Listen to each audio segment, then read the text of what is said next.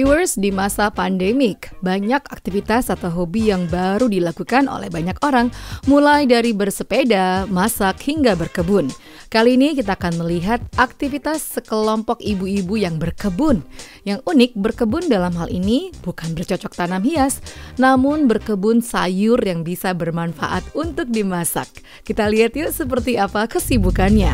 Hai viewers, kita sekarang ada di mini gardennya Ibu Feni. Nah di masa pandemi ini nih banyak kawan-kawan kantor kegiatannya banyak. Ada yang hobi planting, ada yang hobi uh, baking, cooking. Nah ibu ini dia planting. Jadi segala macam sayuran dia tanam di sini. Jadi nggak usah ke pasar. Yuk kita intip yuk. Ada apa aja? Maju.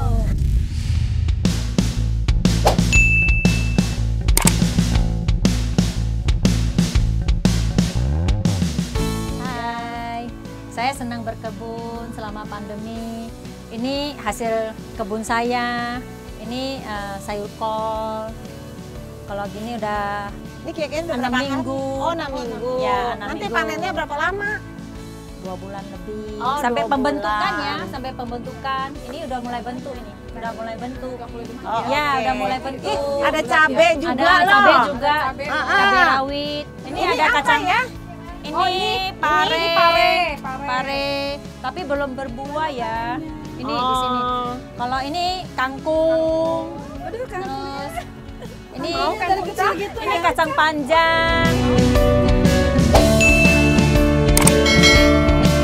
Eh nih viewers, biasanya kita lihat di supermarket, pasar udah jadi, ini dia nih. Kacang panjangnya. Ini hasilnya. Terus ada pare. Cabai Ya. hijau. Ini ada parenya. Parenya di dalam tuh kelihatan ada satu. Iya. Ya. Ini apa ya? Terus ini cabe. Ini cabai juga. Ini kita lagi semai tanaman. Ini pohon apa ya? Pohon bayam. Oh, Bayam, bayam. merah. Ah, bayam merah. Dari semai Ya. sampai panen berapa lama ya? Ah, satu bulan lebih kurang. Oh, oke. Kenapa harus pakai ini ya? Ya, supaya Takut dia hujan ya nggak kenceng. satu hujan terus satu eh, kedua matahari. Oh, Lagi semai nggak boleh terik matahari. Jadi viewers, ternyata Ya. ya kita jangan cuma tanaman hias aja, tanaman hias cuma Ya. dilihat. Tapi nih kalau ini kan ada fungsinya. Jadi Ada, kalau bisa kita dimakan. iya, Tadi- selain kita hobi, kita juga bisa gunain fungsinya. Ya, betul. Fen, ini bedanya sama hasilnya nih ya, misalnya cabe. Cabenya eh, sama nggak sama yang di supermarket ada beda atau sama atau gimana? Rasanya sama, cuma lebih puas kita tanam sendiri. Yang pastinya hasilnya. organik ya. Organik. Nah itu dia. Organik, Kalau misalnya 100% kita beli organik. di pasar di supermarket, kita nggak tahu bagaimana Ya, prosesnya. Betul. Pupuknya, pupuknya organik atau Betul. kimia. Kita kan sekarang mau hidup sehat ya, apalagi zaman pandemi gini.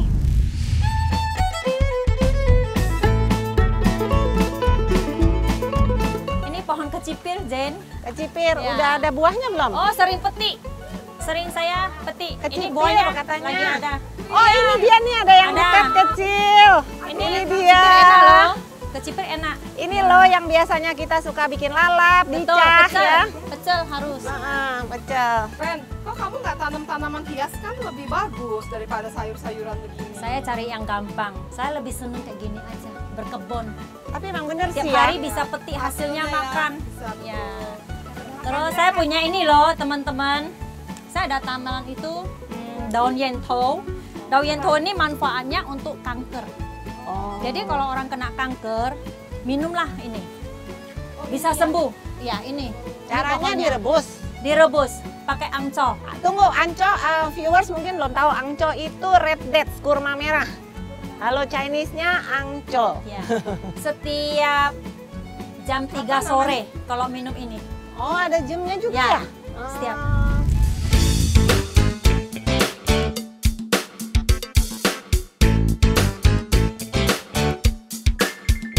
Ren, saya mau nanya nih ya, bagaimana caranya kamu dengan sabar bisa menanam benih ini dari kecil sampai menjadi besar dan sampai bisa dipanen? Kasih Kita- tipsnya dong. Kasih tipsnya dong. Kita beli benihnya dulu. Habis itu ya, dari bijinya kita semai. Setelah itu dia seminggu kemudian dia nanti tumbuh, tumbuh, tumbuh. Terus berapa lama? Kalau cabe empat bulan, kalau bisa petik ya. Kalau timun juga tiga bulan, lebih kurang bisa. Kalau kol yang kayak gitu, kol lebih kurang juga tiga bulan. Oke, terima kasih Feni atas tipsnya. Nah viewers, itulah dapat tips dari teman kita Feni. Jadi kita mungkin di rumah kita bisa ikutin. Nggak perlu lahan yang luas, kita bisa jadi dari polybag, kita tanam benih dengan kesabaran. Nanti kita akan tumbuh hasil, pasti ada kepuasan ya. Betul. Nah, oke. Terima kasih terima viewers.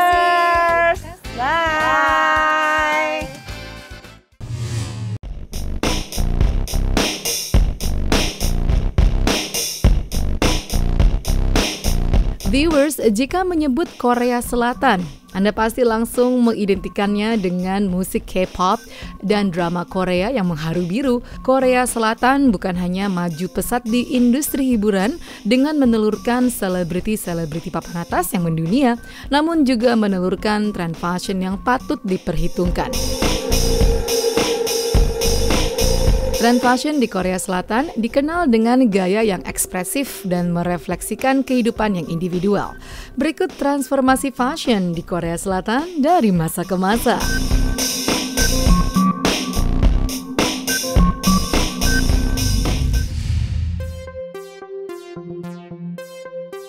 Di era tahun ini, di Korea Selatan masih menggunakan hanbok, pakaian tradisional Korea. Pakaian ini telah digunakan di area kerajaan kuno. Sejak dulu orang Korea belajar menggunakan berbagai jenis kain seperti rami, katun, dan sutra yang diaplikasikan sebagai baju sehari-hari yang dikenakan. Tentu gayanya tak cuma menarik, tetapi juga dapat melindungi tubuh mereka dari berbagai musim. Era 1910 sampai 1950.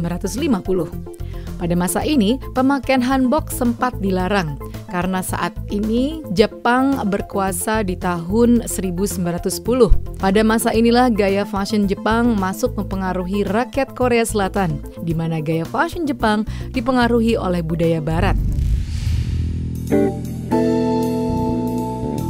Era 1950 sampai 1960, desainer fashion di negeri ginseng mulai bermunculan.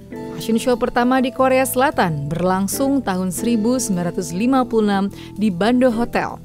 Desainer pertama saat itu bernama Nora No yang dinobatkan sebagai salah satu penemu fashion di Korea. Era 1960 sampai 1970. Di era ini, miniskirt berkembang di Korea Selatan. Tren ini dipopulerkan oleh penyanyi terkenal pada era itu, Yoon Bok Hee.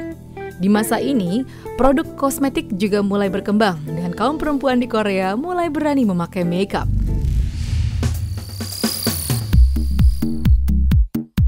Era 1970 sampai 1980.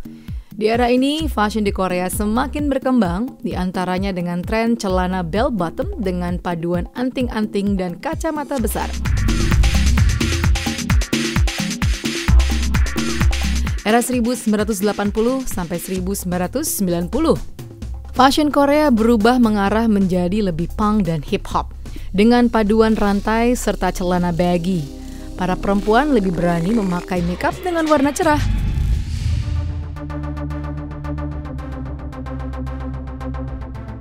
Era 1990-an. Pada tahun itu, tren kebarat-baratan mengikuti gaya para grup band yang saat itu sedang booming seperti Nirvana, Oasis, dan sempat menggemparkan dunia. Style yang hampir mirip seperti gaya punk yang tidak begitu radikal ini identik dengan rambut yang berbentuk gondrong dan berantakan. Perpaduan antara celana jeans, kaos, dan kemeja bermotif kotak-kotak. Era 2000 hingga kini. Seiring dengan berkembangnya Korean Wave, banyak brand internasional masuk ke Korea Selatan dan memilih selebriti ternama Korea Selatan menjadi brand ambassador-nya. Gaya fashion yang terkenal di Korea hingga saat ini ialah Korean street style.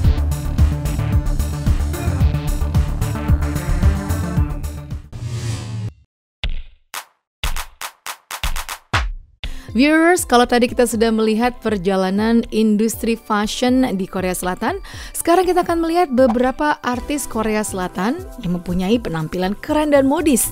Kira-kira ada nggak sih yang menjadi idola viewers?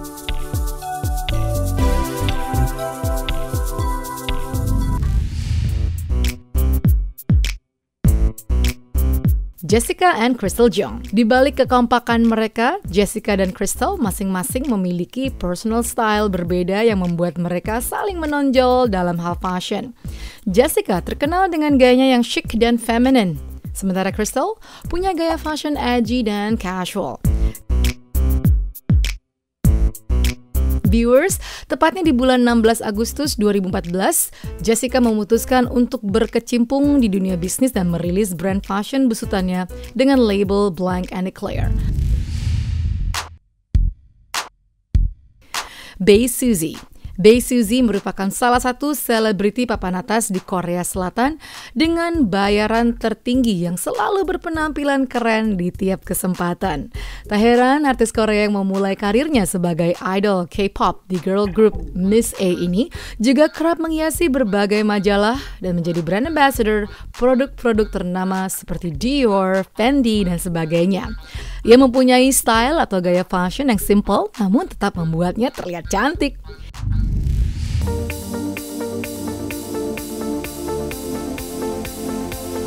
VBTS Pria menggemaskan dengan nama asli Kim Taeyong ini selalu tampil stylish saat di atas panggung maupun dalam beraktivitas sehari-hari. Tak heran ia memiliki banyak penggemar yang begitu mengidolakannya. Gaya dan parasnya yang androgini mampu bereksperimen dengan busana apa pun. ARMY, sebutan penggemar BTS, pasti mengenal betul evolusi gaya berpakaian V di setiap momennya. Cowok satu ini juga ahli dalam memadukan beberapa jenis fashion. Ia bahkan kerap dijuluki Gucci Man karena cowok asal Daegu tersebut beberapa kali tertangkap kamera tengah menggunakan barang-barang keluaran brand Gucci.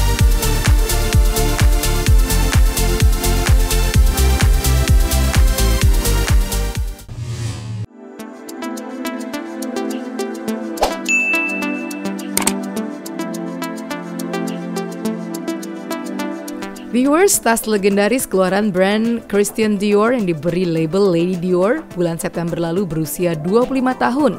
Tas tangan ikonis dari brand Prancis ini lahir pada tahun 1995 dan mulai dikenal publik dunia karena sering menghiasi penampilan sehari-hari dari Diana, Princess of Wales.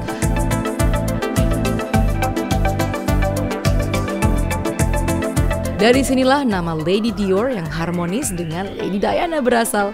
Beliau sendiri merestui penamaan tas ini pada kala itu.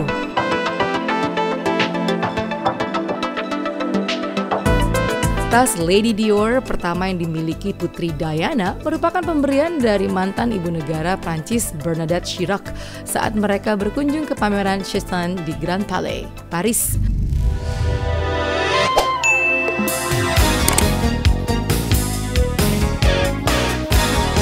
Selang beberapa pekan, tepatnya di bulan November 1995, Putri Diana kembali terlihat mengenakan tas tersebut saat kunjungan ke Birmingham.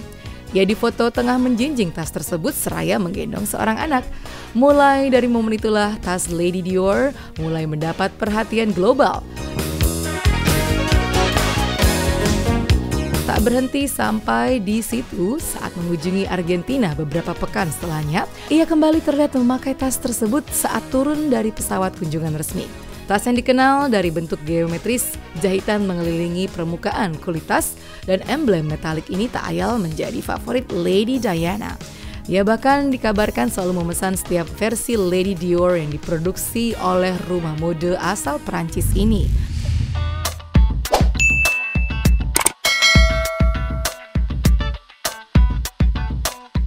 Popularitas Lady Dior sebagai ikon royal juga menyebar ke kalangan selebriti.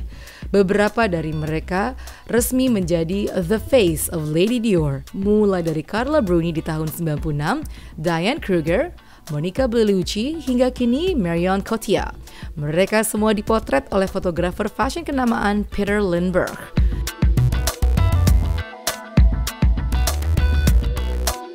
Dior menghormati kreasi aksesoris ikonis ini dengan berbagai cara, termasuk dengan pameran dan proyek seni, pameran Lady Dior as seen by, dan proyek Dior Lady Art telah mengundang banyak seniman untuk menginterpretasi ulang tas yang menjadi simbol keanggunan Lady Diana ini.